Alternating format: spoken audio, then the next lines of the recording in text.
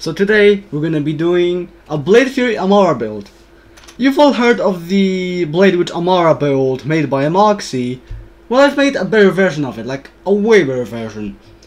So let's do it. For the gear, we have a Blade Fury Masher with Kill Stack Anoint, and then we also have a, Ma a Blade Fury Full Auto with the same Anoint.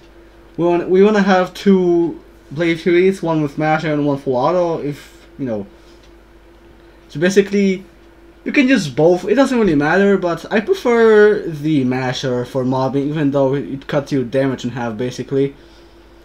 Gatlin's more consistent, but I, but I still use the masher anyway. You got an angel with 150-90 for some fish stop. Guess you know, this is my 10th melee Amara save ever. Low level sellout for proccing elemental protector and getting mindfulness attacks without wasting Uh, our action skill. Level 1 Revolter with triple fleet with ASC fire because we're gonna be doing the trick with burn both ends where we when we have ASCs on our shield and grenade then we can stack burn both ends to full and get 3 plus 75% bonus damage. Driver with plus 2 helping hands and plus 3 mindfulness with splash damage radius, splash damage and melee damage, Elemental Protector static charge with double melee roll and AoE damage. Now you can also do other good passes on this are corrosive damage, mag size, radiation damage, action skill cooldown rate, and then first slap in every element with A3 radiation, all with triple link. We also have a low level mesmer and a low level pith, both with AC radiation and upgrade an MP5 for movement speed. Some to Victory Rush with double movement speed and area of effect damage for ultimate movement speed, and also a Capus Launchpad for regening ammo if you need to. And for the skill tree for Orange Tree we're doing 5 points into Anima for an extended dot duration, you know, this is a driver build and having a longer dot makes, you know, the dot stack mindfulness for longer. And then 1 point into Steady Hands because we have 2 points into Infusion you don't need to have, you know, bonus um, body and mind procs. But we also have two points and one point to steady hands to spec down the skill tree. Because, you know, Catharsis is a bad skill, you know, it does self damage, it kills you very easily. Its damage on enemies isn't good. 5 points into Tempest for bonus for both elemental damage and for more shock damage. Illuminated Fist for, for bonus melee damage and melee damage element of our attuned action skill element. One point into wildfire to spec down the skill tree and to have some dot spreading. Dread for bonus gun damage, doesn't really matter but you know, with Ties That Bind you can grasp an enemy, shoot once, they'll die, you, you get bonus damage, the gun auto reloads, pretty nice. 3 points into Indiscriminate for ricocheting Blade fields everywhere, with double dipping shite with Ties That Bind. Deep well with four bonus mag. Even though the blade furies are non-elemental, then I've still decided to take it. One point to sustainment for life steal. Four points to conflux to get down to forceful expression for bonus elemental damage. And our action skill is gonna be Ties That Bind. For green tree, the only points we're specking are wait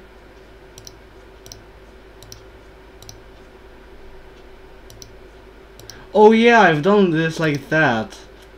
Huh.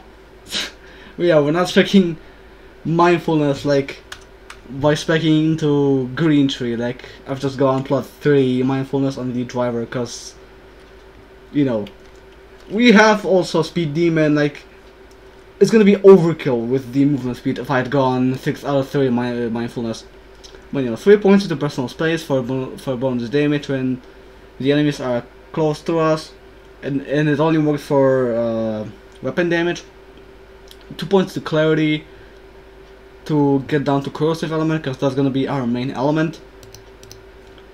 For purple tree we're doing 5 points into trusting yourself for bonus reload speed and charge speed and weapon swap speed because we're gonna be swapping a lot if you wanna you know use the sellout for activating elemental protector and stacking mindfulness stacks without wasting ties. 5 points into No Mistakes in Nature for bonus melee damage after dodging an enemy. 5 points into Heavy Rain for bonus splash damage and projectile speed. 1 point into Ebb and Flow for getting health back on kills with melee. We're not doing Go with the Flow and Unweave the Rainbow because we're not freezing enemies.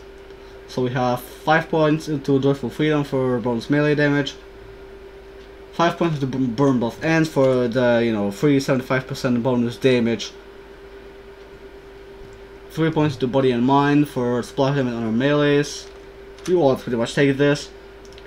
Clear the Mind for uh, ignoring elemental resistances, and for our augment we're going to be doing Expedite.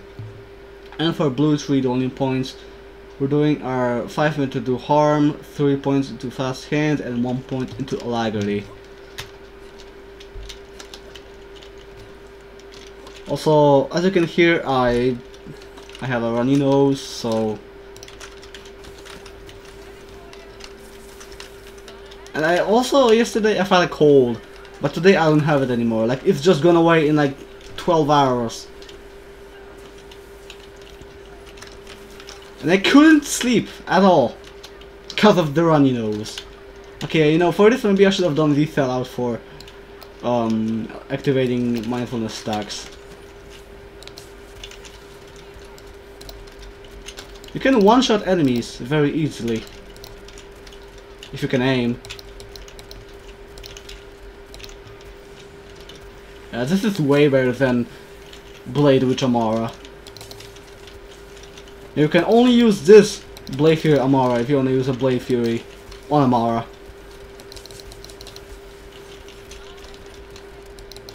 And I'm planning to make even more melee Amara saves in the future. Ah, scheiße.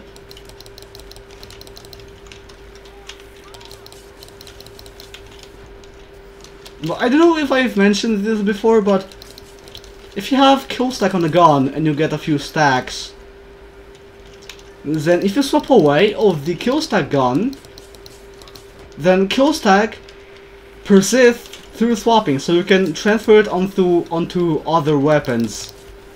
Also Kraken, by the way. You can transfer it onto other weapons even without kill stack, so we can, you know, Guardian Angel, and we have a pretty fast reload. And same works with consec hits, except consec hits only persists through swapping on other consec hits guns. Oh! I've done the double Valkyrie skip after a long time. I think this is my first time doing a double Valkyrie skip on this build. Which is surprising. I can't aim. Like, today I couldn't sleep. Like, I've gone to sleep at like 11 p.m. And then I've woken up at 1.56 a.m. And I couldn't sleep for two hours. Like, I just couldn't. So I've watched some YouTube videos for two hours and then I've gone to sleep and I've uh, fallen asleep. And then I've woken up at like 8 a.m. No way, bro. Not a perfect slow hand, but... Because it doesn't have the crit damage body accessory. I'm gonna take it anyway. Yeah, see, this is like... I keep forgetting. I should do Sellout. Instead of wasting my action skill. Even though Fixed Grasping doesn't consume our action skill, sometimes it does. So you want so you want to be careful. New. Maybe for this part, let's do the full auto Blade Fury.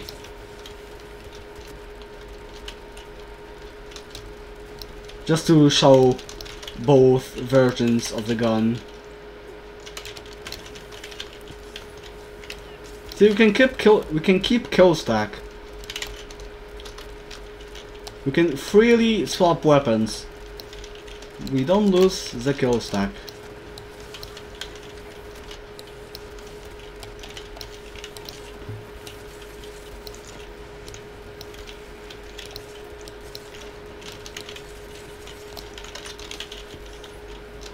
Oh sh bro. Seriously? Maybe let's check flare, let's check flare. Let's check some fish.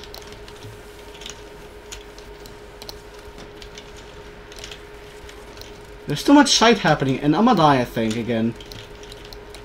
But you can see, once again, this is much better than Blade Witch.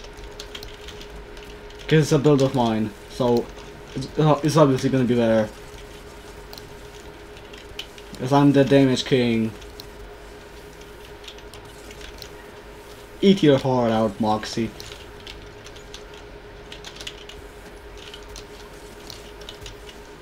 And for Wotan, let's do Masher Blade Fury.